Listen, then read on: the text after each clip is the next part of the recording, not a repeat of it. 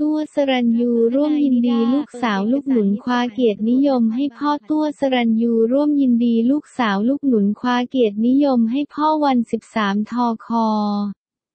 63 ที่อาคารนันทนาการมหาวิทยาลัยรังสิตได้มีพิธีประสาทปริญญาประจำปี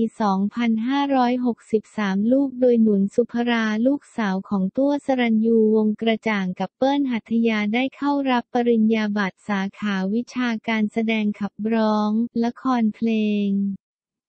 วิทยาลัยดนตรีหลังจากจบพิธีลูกหนุนโคแม่เปิ้ลมาเผยความรู้สึกในการศึกษาจบครั้งนี้ ซึ่งคุณแม่เปิ้ลเผยก่อนว่า ต้องบอกว่าดีใจกับเขาด้วยเพราะสี่ปีที่เห็นเขาเรียนหนักมากและมีความตั้งใจ มีเป้าหมายว่าต้องให้ได้อย่างนั้นอย่างนี้ หนุน ดีใจค่ะที่จบแล้วสี่ปีก็หนักค่ะแต่เลือกเรียนสิ่งที่ชอบที่สุดที่เลือกเรียนสาขานี้เพราะคุณพ่อด้วยใช่ไหม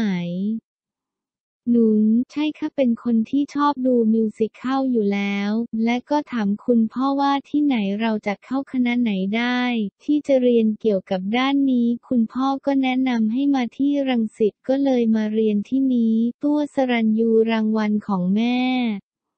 บอกคุณพ่อหรือยังว่าเรียนจบแล้ว หนุน บอกตลอดค่ะวันนี้ก่อนมาก็ไหว้ค่ะ เสียงสั่น คุณแม่ให้กำลังใจลูกสาวยังไงบ้างระหว่างสี่ปีที่ผ่านมา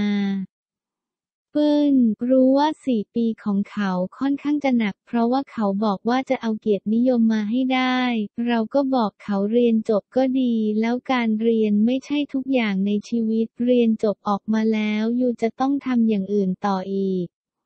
อันนั้นมันจะแตกต่างจากชีวิตที่ยูเรียนเลยนะ ตลอดสี่ปีที่เขาเรียนเขาจะบอกมาตลอดว่าเขายังไม่ได้สี่นะจะได้ประมาณ 3.7 ถึง 3.8 จนถึงวันสุดท้ายที่เกรดออกมาได้เกียรตินิยมอันดับหนึ่งตอนนั้นพี่ตัวยังอยู่เขาก็บอกว่าเห็นไหมความตั้งใจมันทำให้เราไปถึงจุดหมายได้ พี่ตัวรู้ก่อนที่จะเสียว่าน้องได้เกียรตินิยมอันดับหนึ่ง เปิ้ล คุณพ่อเห็นแล้วตั้งแต่ที่รังสิตส่งเอกสารมาให้ที่บ้าน มีถ่ายรูปกับพ่อไว้นะ หนุน ทุกครั้งที่สอบเสร็จจะบอกคุณพ่อตลอดว่าได้เท่านี้นะ ใกล้เคียงแล้วพ่อบอกว่าได้หรือไม่ได้ก็ไม่เป็นไรแต่พอคุณพ่อเห็นเกรดเขาก็ดีใจด้วย ท่านไม่กดดันเลย ตั้ว ศรัณยูพ่อก็มาเห็นว่าวันนี้มี backdrop คุณพ่อด้วย เปิ้ล เป็น standee ของพี่ตั้วมีน้องหนุนทำเซอร์ไพรส์ช่วยกันทำค่ะ เรียกว่าอยากมี moment ว่าคุณพ่ออยู่ด้วยเปิ้ลเราก็รู้สึกว่าคุณพ่ออยู่กับเราตลอด จริง ๆ พี่ตั้วบอกว่าอยากจะหายให้ทันเพื่อจะรับปริญญาหนุน จะเรียนต่อโทเลยไหม ปิ้น พี่ณเดชเตือนว่าไว้ก่อนก็ดีนะ แต่ถ้าอยากเรียนก็ไป